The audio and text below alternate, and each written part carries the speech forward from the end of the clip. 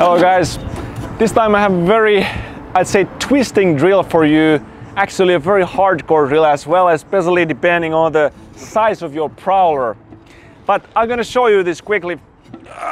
What we do here, I'm gonna place a prowler here, I'm gonna grab it, I'm gonna pull and move that prowler across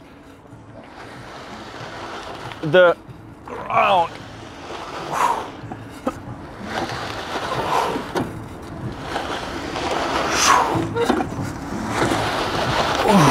Like so. Wow, that's already those few repetitions. Feels pretty crazy. Actually in the body, especially the obliques, you're gonna have to activate a lot of your parts from your inner thighs, for example. It's gonna actually use your arms, your chest. There's so many areas that you can actually train with this drill. If you don't know who I am, I'm Eero Westerberg. I'm the head coach here at VAHVA Fitness. Over the years, I've helped 10,000 people transform their bodies, how they move, how they perform, how they look, how they feel in their body, how they even uh, think about training. Many people have said that's really completely changed their perspective on training from our training programs, from these videos that we've put, been putting out. This is really my passion that I've been doing for so many years, spending time, research, effort, and just heart into really learning the best possible training methods. And that's what I'm really sharing here. Anyway, going back to this exercise, this is what I call the prowler wrencher. Prowler wrencher is really an exercise that I started to think about actually. It's a very interesting and funny story about it. I was pushing a shopping cart. It was a relatively heavy actually weight on that cart and I, I was actually, I wanted to push it quite quickly. I just wanted to go through that shop. and because of that, I was trying to turn the shopping cart quite quickly. And while I was turning it, I was like, whoa, something felt a little bit off. I was like, hmm, I didn't feel very strong about it. So I, I go to another turn. I'm gonna, I'm gonna change this. I'm gonna really have a better grounding on my feet. I'm gonna turn the shopping cart and then I do another one, I do different turns. I'm just noticing like, this is a good exercise actually. But unfortunately, this gym and most gyms, they don't have shopping carts actually that you could load up, which would be a really good uh, training equipment if I think about it right now, but I thought in my head, okay, I want to replicate this exercise in some way. How do I replicate this kind of movement that I did with the shopping cart? Okay, this gym has a prowler. Probably I can use it. It's not as smoothly going, which doesn't really, it's not a complete hindrance, but there's a lot of friction on the floor, so it's quite hard to actually pull this towards, uh, pull this, drag it across the floor. Just causes a lot more resistance, meaning that you have to uh, use a lot more strength from your body. It makes it a little more, bit more advanced. But really the exercise here and uh, what it's really doing is this certain like kinetic chain that we are doing with this exercise. So when I'm, when I'm, or when I'm starting to go this way, what I'm doing is I'm not like, I'm not trying to keep my arms rigid and, and turn like pull with my arms which you might think that I'm gonna be pulling with my arms like this way. That's not what I'm doing. Instead, I do this. I shift my body weight. Body weight shift is the first thing that happens. That would create the initial move motion. Body weight shift. My legs, my core, my arms, I'm actually keeping them kind of like uh, arms are just dragging behind. And up do it again. So here, and the arms have to work, of course, but they are the last thing that actually starts to operate here. I'm shift my weight, I'm utilizing my core. Oops. This, it doesn't matter if it slightly tilts the prowler, of course, if you can keep it directly touching the floor, that's good. But here, body weight, core, arms.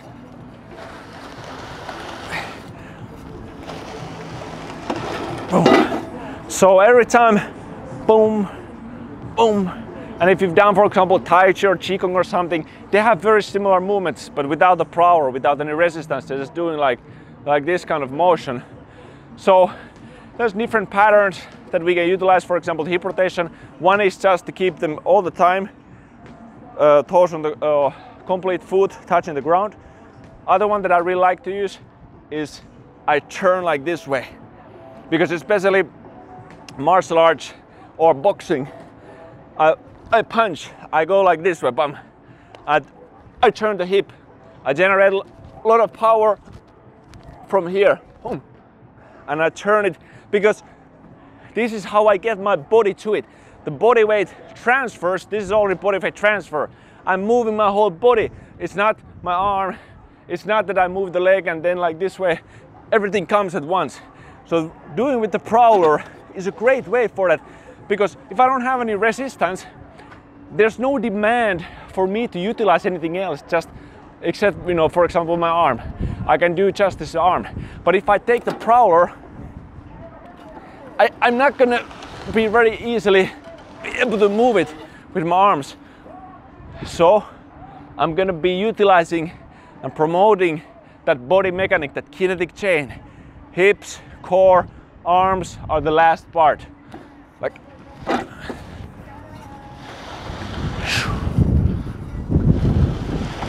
like so.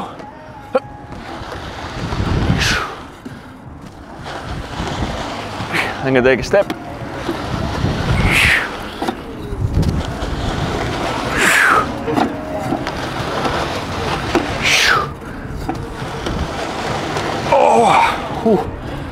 So like I said, originally what I noticed doing uh, even with the shopping cart is that to really move it, I had the ground, had to really go into the ground. If you don't do that, for example, those turns, that kind of tension that it causes, it can travel to your knees, can go badly to your ankles or something.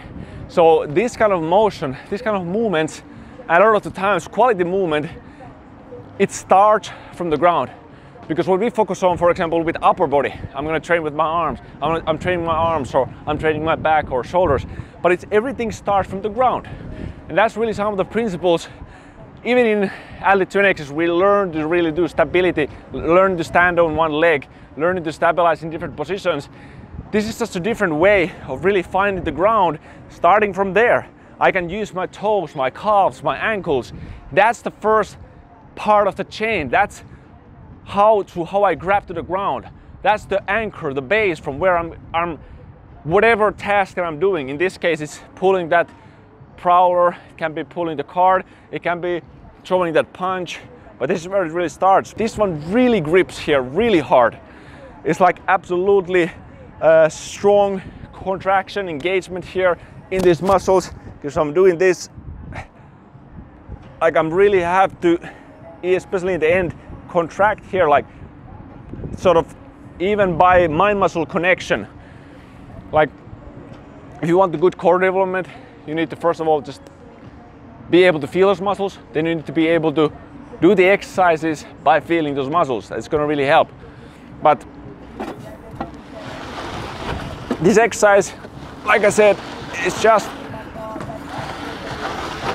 learning that kinetic chain, learning the ground onto the floor to be able to have the space from where you can produce force for different tasks, whether it's punching, maybe it's throwing, maybe, maybe you're wrestling and you need to throw somebody onto the ground. You're gonna find a lot more base of support for different type of movements. So this Prowler Wrencher is really great exercise, but it's just really one exercise among many others. There's something that's always, that I always wish to really share for people that is behind our training uh, these larger like philosophies and commandments that we're actually following. And this is why we have gathered 10 different commandments of universal strength training into a free course. And this is really the goal of these commandments to help you to build the ultimate body that is not like usually achievable with just regular strength training. So you need to understand these like deeper laws and commandments that are behind developing an optimally functioning and healthy body and this really what, uh, what we do is that this allows you to avoid lots of injuries, allows you to really uh, avoid stagnation and plateau in your training. So that's really what we do in the 10 commandments of universal strength training. You can find this course from the vahvafitness.com slash laws and you can start to study right away to improve your training, to raise it on the next level and start getting a really amazing transformative results. So that's it guys, I hope you enjoyed this exercise. Go try it out, let me know how you feel about it and see the 10 commandments of strength training and I'll see you guys soon. Take care, stay strong.